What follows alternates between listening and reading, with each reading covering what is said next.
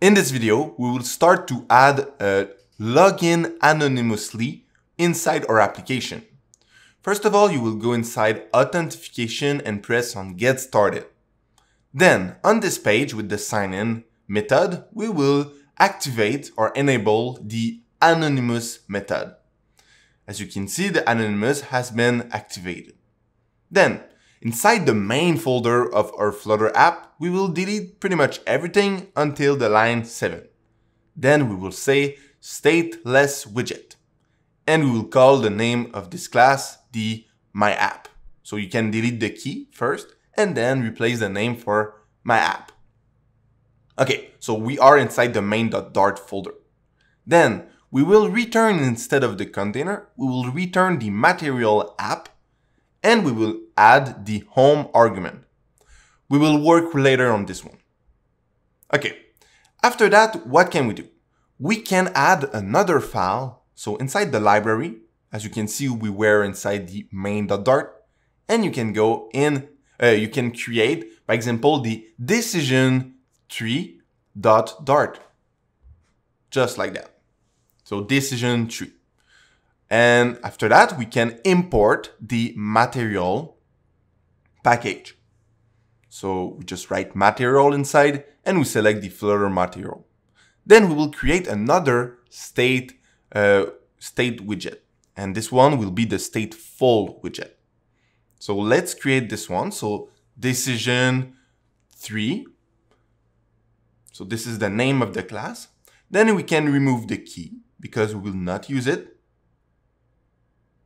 And we will return inside this decision tree uh, class, what we will return in the build will be a login page. So we will return a login page that we will need to create for sure. So let's create our login page as well with a new file called it the login page.dart. So login under page.dart. That's good. Okay, we will need to import the material as well on this one. So we say import material.dart and enter. That's good. After, we will need to create the stateless widget, so this one. And the name of the class will be the login page. This will, uh, first of all, we'll remove the key, and this will return a scaffold. So as you can see, we take this one, and inside the scaffold, we have the app bar argument. We select it, and then we use the app bar widget. That's good. This app bar widget can take the title argument and the title argument will be uh, what we will put inside will be the text widget to display text on the screen.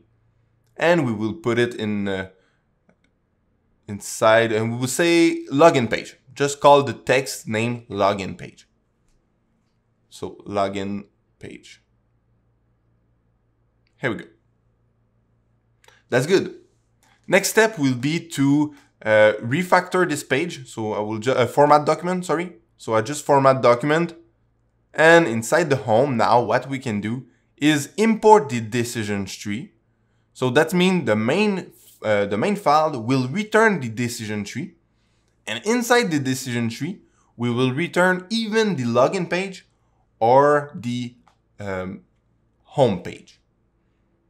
So in the decision tree, we return the login page, but we will need to import it to be able to use it.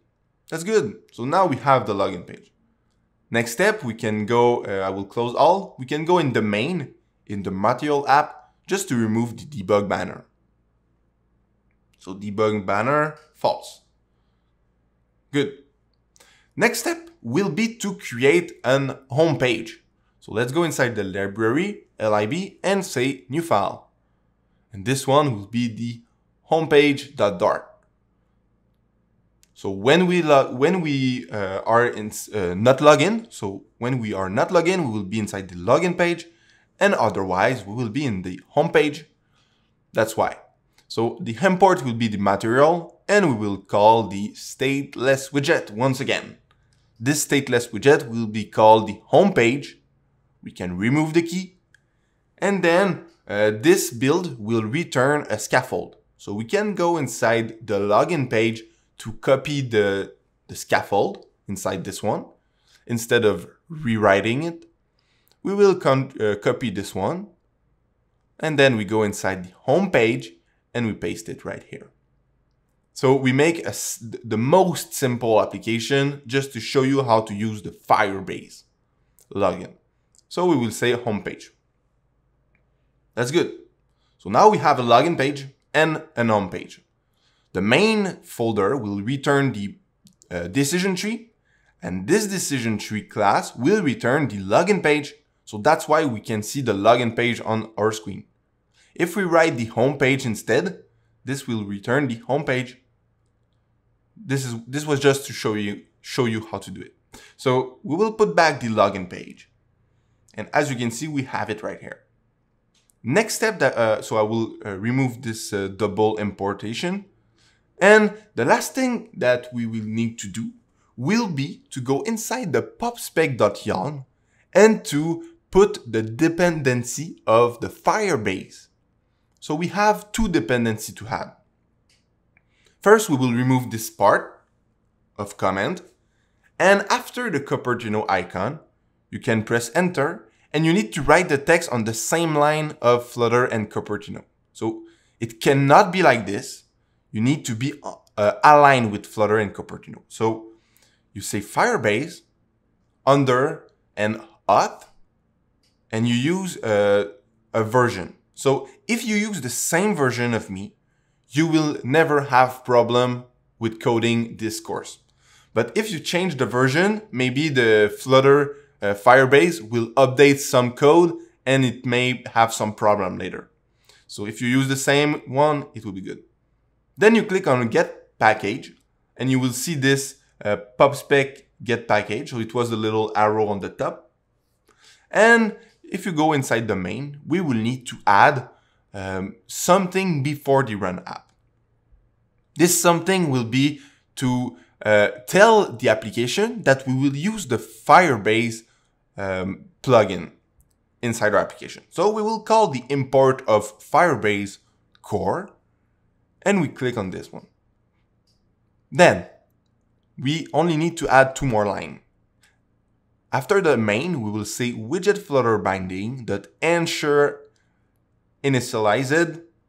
And the last one will be the await firebase dot initialize app.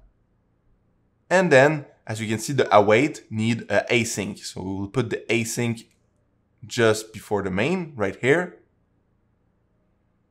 And as soon as you write async, everything is good. So we have initialized our Firebase app.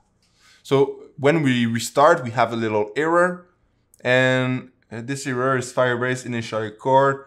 So it say, okay, you need to initialize the app. So we will quit this. We will close the application with the red, red square and we will rerun the application just to get the initializer this time. So we rerun the application.